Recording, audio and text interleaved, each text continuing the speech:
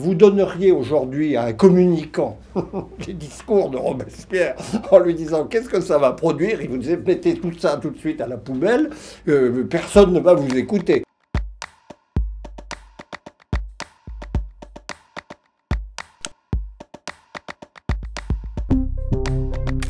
C'est au départ un petit notable provincial, un avocat à Arras, qui représente typiquement les lumières moyennes. Comme beaucoup d'autres avocats, ses confrères, il est happé par la politique qui s'ouvre en France avec cette première grande élection que sont les élections aux États généraux. 1100 députés, il a 31 ans, il est parfaitement inconnu.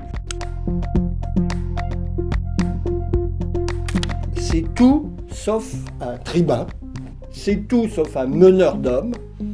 C'est un homme solitaire. Il exerce une fascination par une espèce de rigueur dans la manière dont il met en place ses argumentations. C'est le contraire d'un démagogue. Il ne fait grâce d'aucun argument. Il est capable de parler pendant des heures. C'est ça qui va lui valoir ce surnom d'incorruptible. Il est non seulement l'un des plus fervents partisans de la mort du roi, mais il développe à cette occasion une argumentation extrêmement radicale où la République, où le roi reste en vie.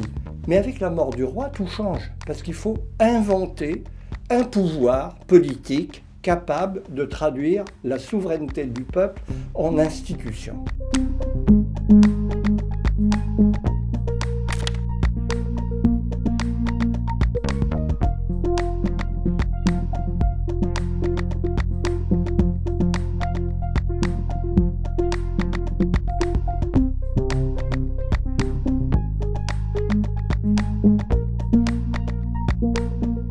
Robespierre a les mains libres.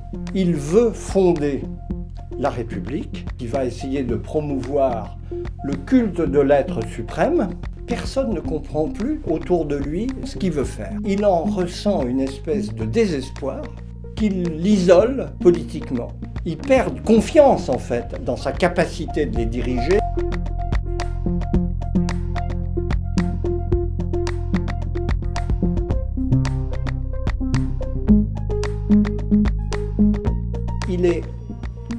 Tout simplement éliminé par un vote d'assemblée. Et donc guillotiné, c'est le fameux 9 thermidor.